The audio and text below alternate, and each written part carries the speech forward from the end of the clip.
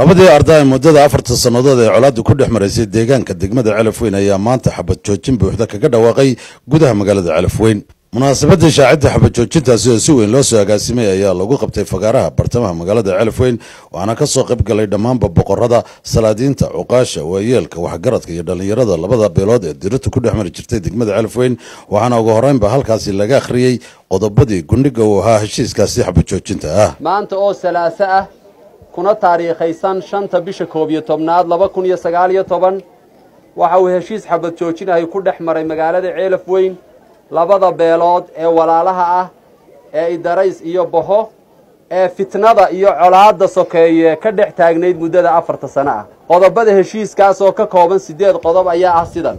In labada beelood ay ka hirgeliyaan dhammaan deegaanadooda xabad joojin buuxda taas oo dhaqangal ah laga bilaabo maanta oo lagu dhawaaqay xabad joojintaas. In qofkii ama ciddii xabad joojintaa ku dhaqmi weyda ee xabad ridda ku hanjabta ama waxyeello geysata noocay doonto ha ahaatee ay isaga ku gaar tahay. Gacani waa nin lowgoodo shareecadaana la marinayaa.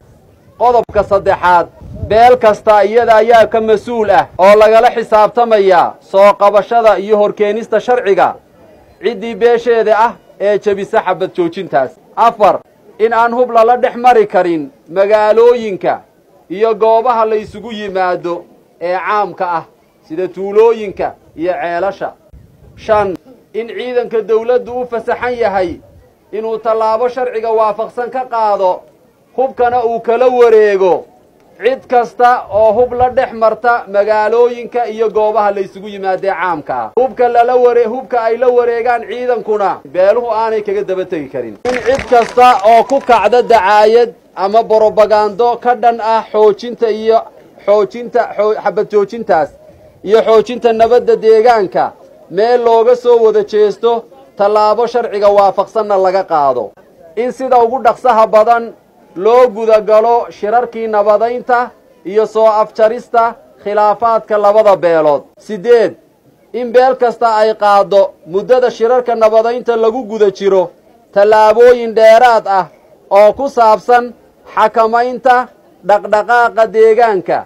Si taxadir loo sameeyo oo looga hortago wax kasta oo carqaladayn kara xabad joojintaas waxaa iyaguna halkaasi ka hadlay waayeelka aqoon-yahanka labada ardaa oo ay horkacayaan boqor cismaan abu maxamuud buurmadow iyo suldaan saleebaan cawil dirir iyo jiif caaqil maxamuud nuux maxamed iyo jiif caaqil ibraahim ismaaciil jaamac oo dhammaantoodba ballan qaaday inay si buuxda u dhaqangelin doonaan xabad joojintaasi ay ku dhawaaqeen. Waxaannu ballan qaadaynaa ilaahay hortii ka ballan qaadaynaa inuu dadkaasi maanta laga bilaabo isugu kaaya mid yahay. In ciddii inta wanaagsan inay isugu kaaya mid tahay inta xun inay isugu kaaya mid tahay.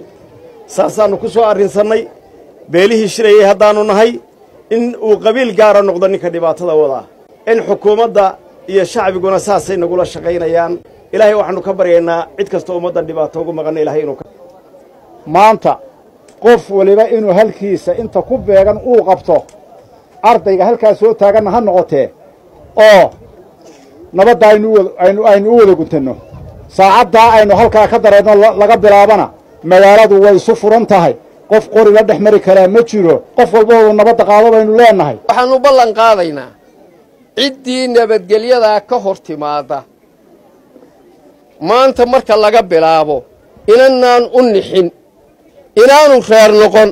Haddeerba ha la ogaado ninkii waxgaystaa reer noqon maayo. Nabadgelyadaa waa qaadannay qodobadaa halkaa lagu soo qoray annagaa dee soo qornay waana taageeraynaa hana la taageeraanu leenahay. Dadka reer elifan waxaan ugu baaqayaa dal iyo dibadba inay taageeraan nabadda.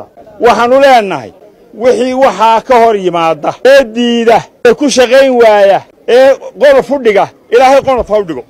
Nabad baannu qaadanee nabaddaa biciide iyo sacdionisow ma nagu taageerteen. War reer ceelaf weynow ma nagu taageerteen.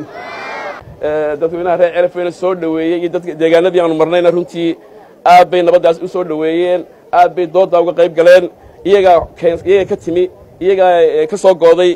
Caafimaadkan ceelaf weyn ka bilaabmay gobolka oo dhan buu gaadhi doonaa. Insha allah waxaan kaloo u mahadnaqayaa madaxweynaha jamhuuriyadda somalilan oo markii ay hargeysa ka soo bilaabantay si kaliya laaba u taageeray. Haddaannu golayaashanahay hawsha nabadgelyo ee lagu xabad joojina lagu dhawaaqay waannu idinku ilaashanaynaa.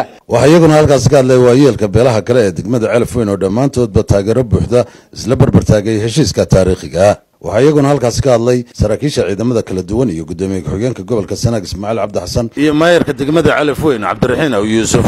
oo dhammaantoodba ballan qaaday inay si buuxda u fulin doonaan heshiiskan labada arda ay gaadheen iyagoo hoostana ka xariiqay inay heshiiskan ay dhaqan gelin doonaan isla maantaba.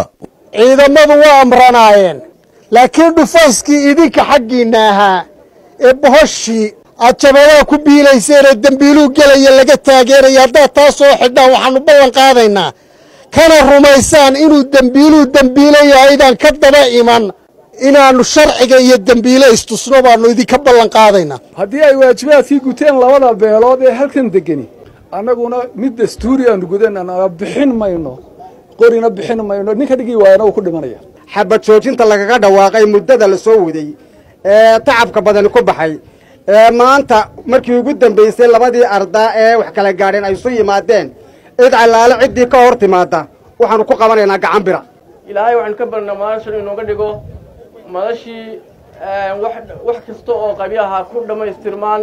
In badan baa shirar halkan lagu qabanayey in badan baa shirar nabad afartii sanoo shirar nabadgelyo lagaga hadlayey kanina calaamadihiisa gaarka ah uu leeyahay rajadiisana uu leeyahay waxaynu ku rajaynaynaa mar haddii intii dhibta u badan iska gaadhay ee boqolkiiba siddeetan dhibta u badan gaadhay ay isu yimaadaan inaan dhibteenna inagu aan xalilno ilaahayna waxaan ciidamada qalabkasa waxay ku amran yihiin maanta maadaama ay labadii jifiyood ay sheegeen in aanu ninkaasu iyaga ahayn qoriga qaata maanta ee qoriga sita in ay magaalada dhexdeeda la mara in ay gacan bira ku qabtaan ciidamadu ama ama ama dhibaato wada ama keenaya khalkhal nabaddaa maanta bilaabantay ee kowdaa waxayna bilaabaysaa haddeer saacadda aynu ku jirno bay maanta oo bishu ay shan tahay. Waxaana markii munaasabadaasi laga soo dareeray madax dhaqameedka nabadda oo horkacaya dadweynaha degmada celaf weyn oo isku duuban ay socod maasha ku soo mareen.